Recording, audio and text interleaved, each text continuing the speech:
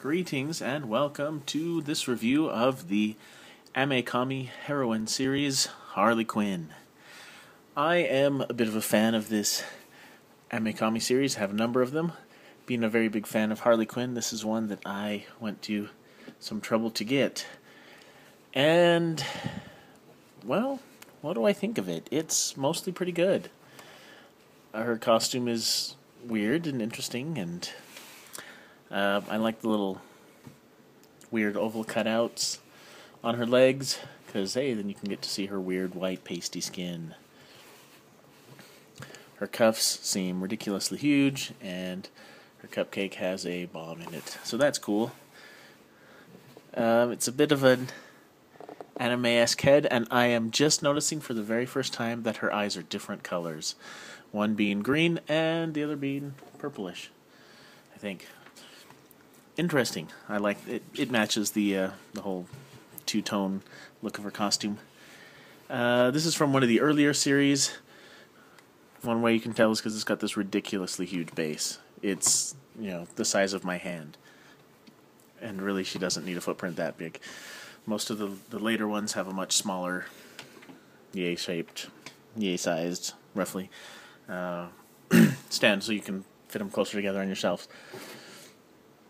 Uh, this is a statue. There is no posability, um, except for the stand has a hinge in the back, so you can, I guess, just make sure you have it adjusted right so it stands up. All right. Um, I don't like this weird, hideous Joker mask face thing that they have on the back. It creeps me the hell out. Yeah. Like, seriously. But I do like the uh, I can't tell if it's showing up.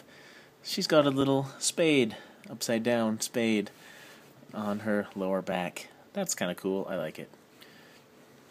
Uh, I think I'd like this better if it didn't have this big giant collar, so you could see that it's a low cut corset thing. But creepy face.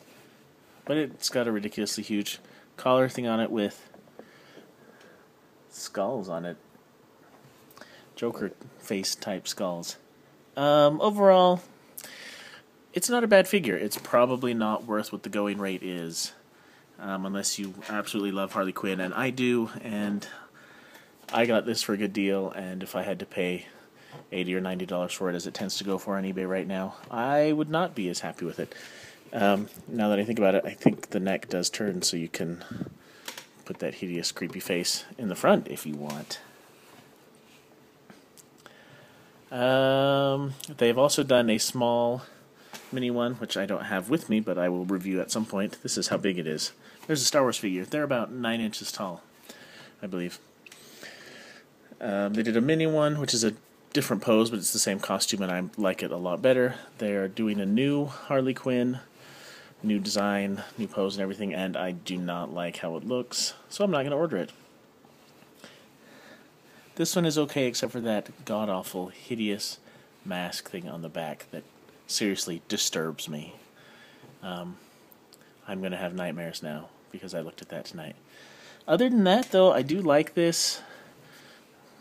It's, you know, it's it's clearly clearly a departure from the character, but it's not terribly out of the box as some of the other ones are that are really wacky and weird.